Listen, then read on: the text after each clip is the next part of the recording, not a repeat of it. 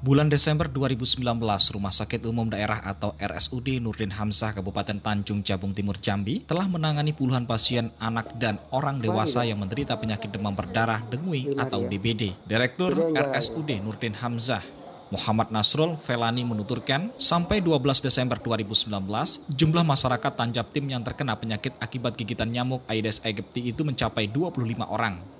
Pasien ada 11 orang, yang saat ini dirawat ada dua orang. Sementara untuk pasien dewasa ada 14 Dokter orang, yang dirawat ya? inap ada lima orang. Kebanyakan pasien DBD berasal dari wilayah Kecamatan Geragai, Dendang, Muara Sabak Timur, dan Kecamatan Muara Sabak Barat. Khusus untuk Kecamatan Muara Sabak Barat, tercatat ada tiga kasus, yakni satu kasus di Kelurahan Parit Culum 1, satu kasus di Kelurahan Parit Culum 2, dan satu kasus di Kelurahan Teluk Dawan.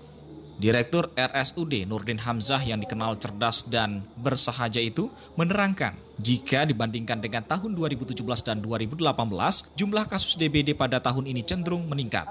Sayangnya, Nasrul tidak membeberkan angka pasti peningkatan kasus penyakit demam berdarah itu. RSUD Nurdin Hamzah mengaku selalu berkoordinasi dengan Dinas Kesehatan Tanjab Tim untuk mengantisipasi agar tidak mewabah penyakit DBD. Salah satunya meminta Dinas Kesehatan untuk melakukan penyemprotan asap bercampur cairan insektisida atau fogging ke rumah-rumah dan menaburkan bubuk abate.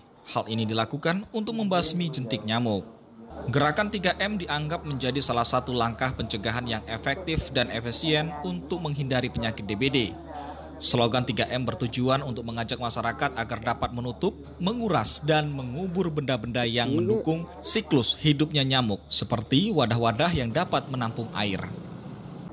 Kalau untuk kasus DBD memang dalam satu bulan terakhir memang ada peningkatan uh, kunjungan dari yang demam uh, eh, DHF, demam berdarah sudah mulai ada kunjungan uh, di mana yang sekarang untuk bulan 12 untuk kasus anak itu ada 11 kasus yang alhamdulillah semuanya tertangani dengan baik dan sampai dengan hari ini yang dirawat ada dua orang dan untuk yang dewasa dalam satu minggu terakhir ini itu ada sekitar lima sekitar sekitar 12 ya dari 12 orang dan semuanya alhamdulillah bisa kita kita tangani. Hmm.